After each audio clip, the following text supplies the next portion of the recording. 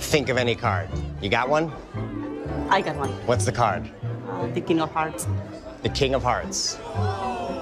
Shh. Not the Queen of Spades? The The King, King of Hearts? Okay. Cool. The King of Hearts? Yes. Now here's your question. Okay. How many bitcoins does it take to get some goddamn respect in this town? What's going on, guys? It's K Dub here with another episode of Crypto Zombie. Thank you for joining me on this Sunday afternoon. We are here making yet another video. Shout out to everyone that's been liking, subscribing, and commenting. You're awesome. If we have a look, we see mild red across some of the top coins. Not really a big deal, not really affecting the market cap. Bitcoin dominance relatively the same.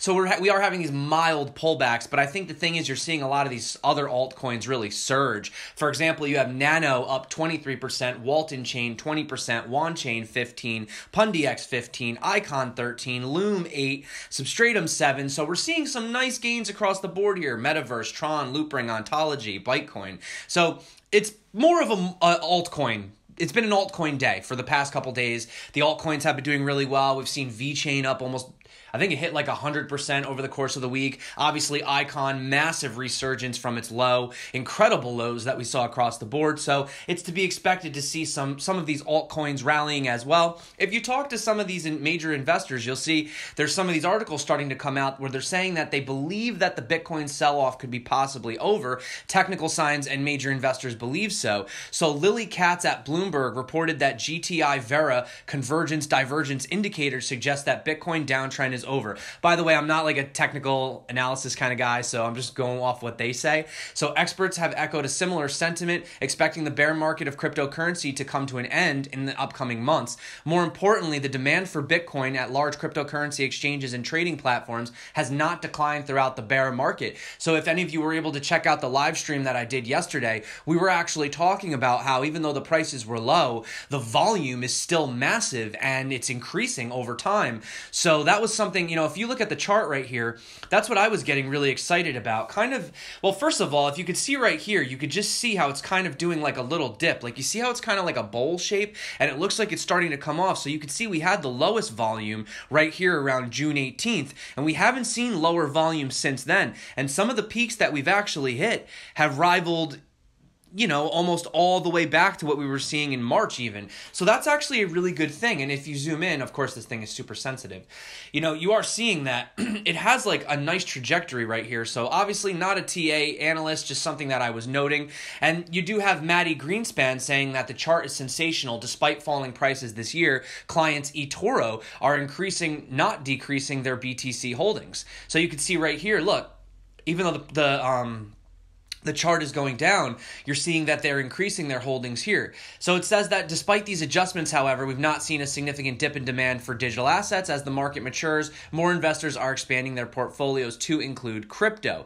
Earlier this month, you had News BTC reporting that despite the bear market, cryptocurrency exchanges have been demonstrating large volumes and high profit margins. We've heard some people saying that some of these volumes have been manipulated. That is something that's just going to happen regardless. A lot of that had to do with them trying to get listed listed on CoinMarketCap because CoinMarketCap had certain things put into place. But then CMC responded to those allocations and decided that maybe that wasn't exactly the best way for them to utilize these metrics to decide what exchanges get listed. But I think the overall point we're trying to make here is that the demand is increasing even though the price has decreased. So just keep that in mind as well. This is funny. Check this out. So it says CNBC tweets have been a contrarian Bitcoin price indicator with 95% accuracy. So, in a nutshell, whatever the hell and uh, CNBC is telling you to do, do the absolute opposite. So, they had their most famous thing right here where they had they were basically they had a thing where they were telling people how to buy Ripple, and people were laughing because they were they the video that came out was telling you how to buy, but at the time of making the video, Ripple was at around three dollars, and then later they came out with a video showing you how you can sell Ripple, and at that point it was below one dollar. So basically, people were making fun of them like buy high, sell low. So if you come over here and you have a look at the chart, somebody actually broke it down, and they did all the positive uh, comments that came out from CNBC and all the negative comments that came out from CNBC. And with a 95% chance, every time they came out with positive news, something bad happened. And every time they came out with negative news, something positive happened. So, lesson to be learned here just whatever CNBC does, do the complete opposite. On top of the fact that they have now recently come out with this Bitcoin boom or bust video Meet the millionaire who lives in a treehouse and says that Bitcoin is the future. So, if we have a look at this video, it is somewhat cringeworthy, a little bit. But I don't know if this is how I really want to be represented for Bitcoin, but we can have a look real quick. Here. Yes, this is where you enter Wonderland, Ah. A serene paradise. There's even a saloon. No. With his bleach blonde hair, board shorts, and tiger paw scarf, Justin, aka Crypto Kid, may not be Central Casting's idea of a millionaire. Yeah, ow. the living room. You can sit down if you care. So I think this is basically just something trying to get some views. Ugh, what are you gonna do? Moving on, so we have Bitcoin mining now consuming 1% of the world's electricity. They're saying that that is more than the entire state of New York. So it takes roughly 5 gigawatts a day to mine all the Bitcoins. And if you wanna have another comparative, 5 Five gigawatts a day can power around 4 million homes, or pretty much all of London, with its population of some 8 million people. So there's more criticism coming out about Bitcoin being a complete waste of, of energy. However, on the flip side, you're seeing DPW Holdings is restoring and reactivating the Valatie Falls hydroelectric dam near power uh, to power its subsidiaries crypto mining farm in the state of New York. So it says the dam will be fully dedicated to the mining facility owned and operated by Super Crypto Mining. The farm will have access to a clean, renewable, and cheap source of electricity, therefore giving it a competitive advantage in the country. So the state of New York will see Bitcoin mining operation up and running no later than Q4 of this year. Also to note, New York may soon be home to the world's largest Bitcoin mining center if the ambitious plans being undertaken by CoinMint fall into place. So I think as time goes by, we're going to basically have no choice but to figure out ways to have these bitcoins be mined in a renewable manner. I'm seeing a lot of people move to like wind and solar and hydro. So, as much as this is a huge concern, I personally think that as long as we do it in a renewable way, you know, for example, think about something like a waterfall, right? Hydro. It's just going to keep flowing over and over and over again, hopefully, unless there's a drought, right? So, that to me is renewable. I think that over time this will sort itself out. The whole concern about cost for mining bitcoins, I don't see that being a problem for too much longer.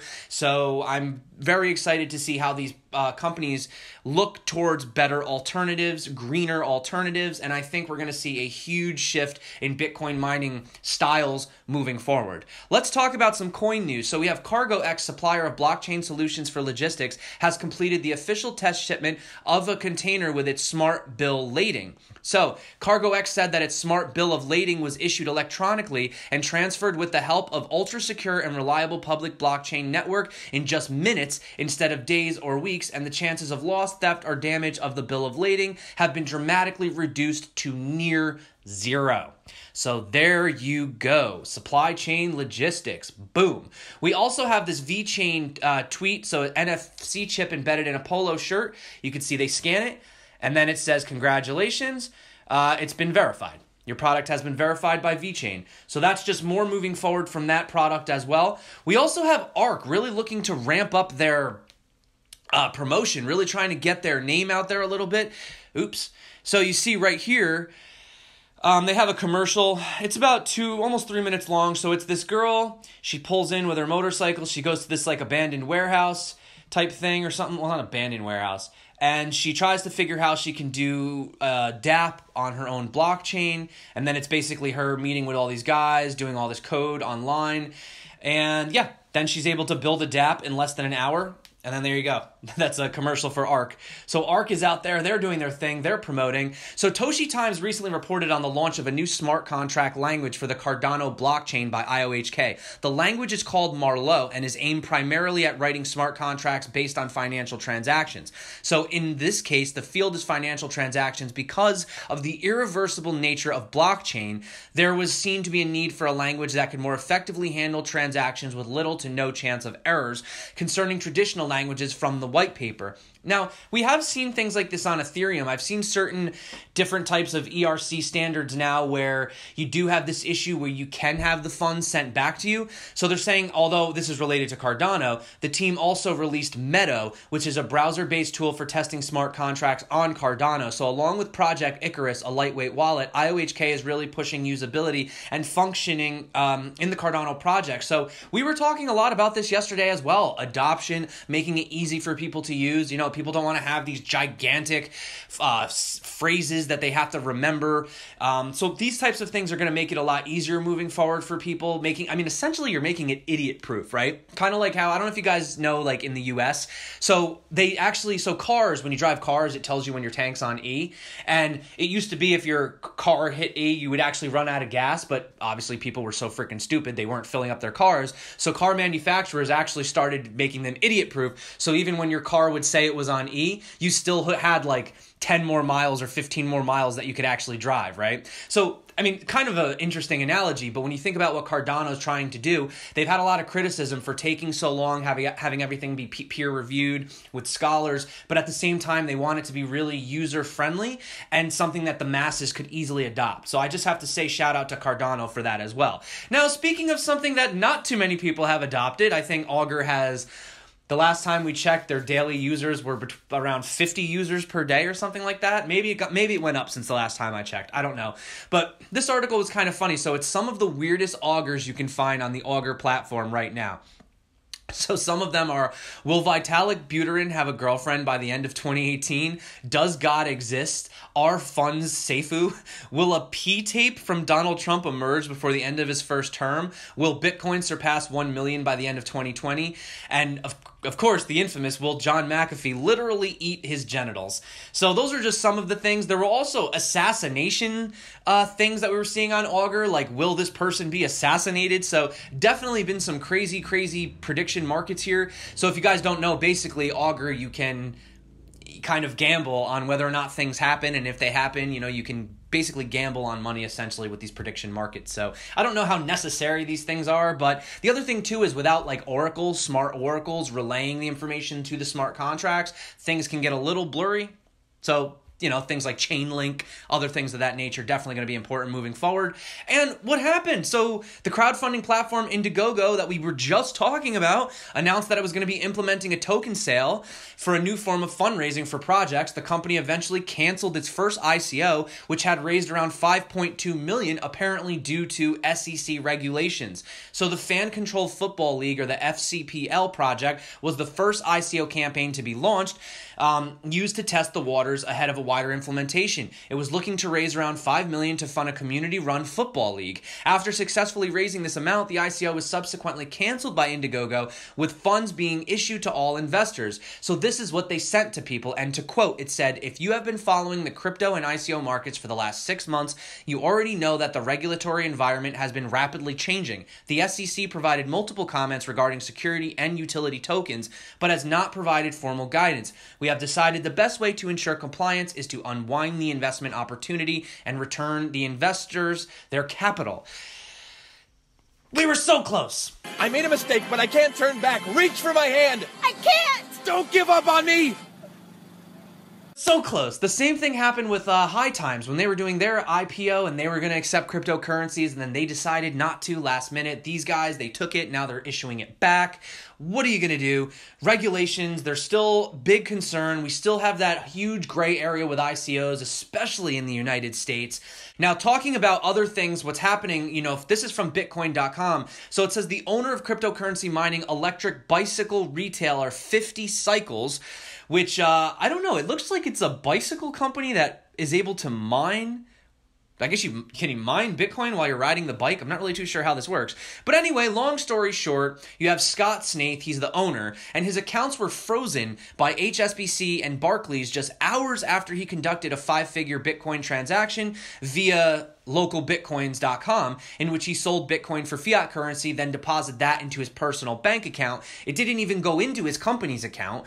And then he says his two personal bank accounts and his business account were frozen for using the Bitcoin trading site. So he said no unlawful activity has taken place, but just because the word Bitcoin was mentioned, my accounts were locked instantly. But that's the thing if we're going to be going back and forth between Bitcoin to fiat and fiat to Bitcoin, understand that there's going to be a trade that happens. There's going to be a transaction that happens, right? I mean, at some point, if I want to cash out my Bitcoin into fiat, I have to trade it somewhere, and maybe I don't want to pay the Coinbase fees. So I'm using local Bitcoins. So this is ridiculous. He says, To me, this is a clear case of the high street banks abusing their power. It is not a criminal matter, but a personal corporate decision that someone has made in my mind that's wholly wrong. And I'm sure there are many other victims that are even less fortunate than myself. So, what do you guys think? What's your opinion on this? I mean, technically the banks do have the right to do whatever they want to freeze your accounts, right? And that's the problem. That's the issue. You know, with crypto, we're worried about people coming in and stealing your money. We're worrying about phishing links and security and hacks. But with the banks, we literally give them permission to do whatever they want. And then things like this happen. So they said that um, while H, uh, HSBC has reinstated his account, Barclays maintained the freeze. So he stated, I'll never be able to bank with Barclays again. I'm a professional business owner taking advantage of a new financial technology, and it looks like the banks are failing to keep up with their customers' habits. We are the ones being punished. The banks are deliberately creating obstacles. They are anti digital currency and displaying a new form of financial discrimination. So there you have it. Banks just at it again. And finally, just to end on kind of a silly note today, so Bill Cosby, it says despite to salvage what's left of his or desperate to salvage what's left of his 500 million dollar fortune, Bill Cosby is apparently converting his cash into virtual currency so he can keep it away from his creditors, the government, and long-suffering wife Camille, according to Radar Online. So it says he's moved about 5 million into Bitcoin after an expert told him it's practically untraceable and impossible for anybody but him to retrieve. The expert said it couldn't be taken in divorce, bankruptcy, or by the government in any liens. So there you go. Um, I mean, it's not 100% impossible to retrieve. However, if he's intelligent enough, Sure. I mean, if you can store the seed phrase maybe in your mind, you know what I'm saying? Like remember the 12 word, don't have anything on paper, don't have any private keys, that's kind of like what Andreas Antonopoulos sort of does. You know, he like remembers the phrases so that basically the bitcoins are in his mind, right? So if they take these routes, possibly, I just think that's kind of funny that he's deciding to do that, getting into Bitcoin. However, on, on, on the one hand, you do have him kind of promoting the negative side of Bitcoin, right? Like, so that's not really good publicity, but hey, what are you going to do? Any publicity, we'll take it, right? Maybe. I don't know. That being said, what's up, guys? It's the weekend. Hope you had a great time. That being said, my name's K Dub. This is Crypto Zombie. Oh, one more thing before I go. So, I'm not going to be around next week. I'm actually going on a vacation. As you guys know, my girlfriend, she works for a school, so obviously, summertime, they get off. I feel bad. We really haven't done as much as I'd like to do, so we've decided to go on a little vacation. However, I do have some pre recorded content and you guys know I'm going to end up probably waking up at like 5 o'clock in the morning and doing news videos anyway. So most likely I will be making content regardless. But if for some reason content's a little slow next week, just give me a break, guys. I don't know how the internet's going to be. So, that being said, shout out to everyone that's been liking, subscribing, and commenting. You're freaking amazing. I love you. That being said, my name's K Dub. This is Crypto Zombie. Until next time, stay crypto. And of course, peace out.